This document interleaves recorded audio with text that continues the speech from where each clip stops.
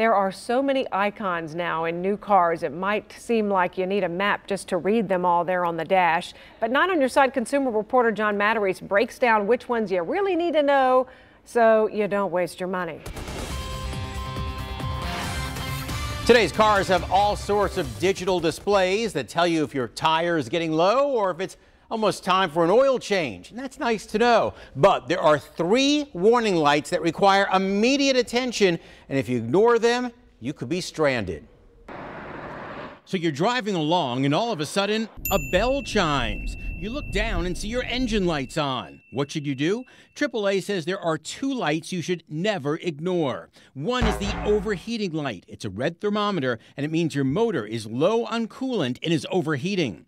Two is the red oil can light. This means your oil is low and your engine could seize up if you don't do anything. In both cases, pull off the road as soon as it's safe. Do not keep driving.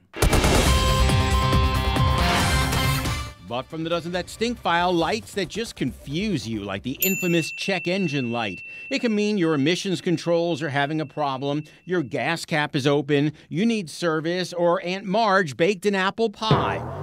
It leads you to panic, you'll say, Doesn't that stink? With the check engine light, don't worry. You can keep driving. Just have a shop check your engine soon.